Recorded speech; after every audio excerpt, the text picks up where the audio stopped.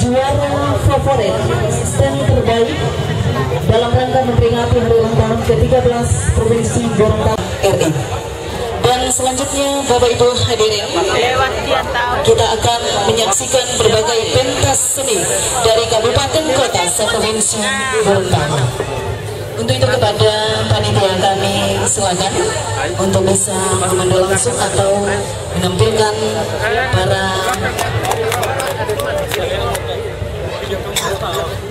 penampilan dari Halo. Halo masyarakat Batu Yaman dan Ilamuta. Mananggu, Mananggu. Batu Yaman Pak, Batu Yaman Batu Yaman, silakan Batu Yaman. Batu Yaman yang menyampaikan khusus untuk Prodira dengan BPJS untuk kesehatan Pak.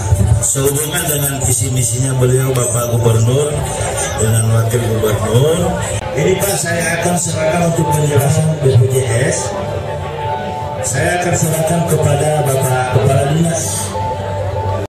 Yang ingin kami sampaikan Pak Wagub jadi dengan diberlakukannya JKN ini memang sudah banyak masyarakat yang menjadi peserta JKN tapi khusus untuk peserta yang mau mendaftar menjadi peserta mandiri tapi kesulitannya ini mereka harus mendaftar di Provinsi Gorontalo di kantor BPJS Provinsi Gorontalo nah sementara yang mendaftar ini banyak yang sudah orang tua yang sulit mereka kalau pergi ke Gorontalo. Oleh karena itu mungkin melalui kesempatan ini kami menyarankan kepada Pak Wagub kiranya dapat uh, langsung atau mendaftar langsung di Bualemo, tidak lagi ke Provinsi Gorontalo. Terima kasih Pak Wagub. Uh, terima kasih. Uh, sehubungan dengan uh, program BPJS ini walaupun banyak yang sudah usia lanjut yang ada di Kabupaten Balemo.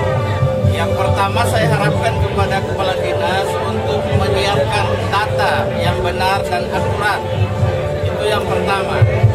Kalau data sudah benar dan akurat, maka insya Allah nanti dikoordinasikan dengan dinas kesehatan provinsi.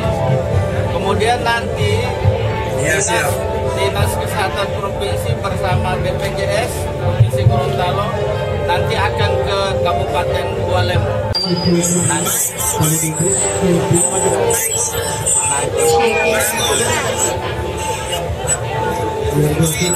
Ibu Ketua Tim Penggerak PKK Provinsi Gorontalo Samari kebetulan yang dari sini ada juga eh, ketua-ketua tim penggerak PKK dari desa. Langsung langsung. Mereka sedang melihat keberadaan ibu, mereka mendoakan semoga ibu selalu dalam lindungan Allah Subhanahu Wa Taala. Amin. Amin. Terima kasih Pak.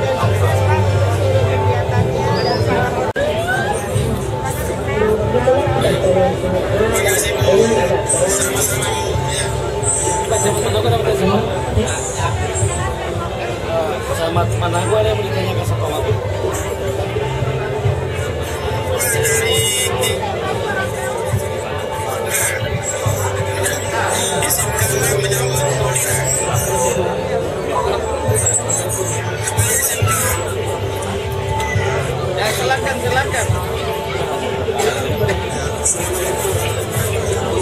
sebagai pertanda bahwa Kabupaten Bualemo sekarang ini sudah sampai kabupaten, sampai ke tingkat kecamatan, bahkan sampai ke tingkat desa.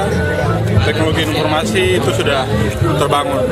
Jadi dari teknologi ini seluruh potensi yang, ada di Bualemo itu bisa berkembang dengan besar.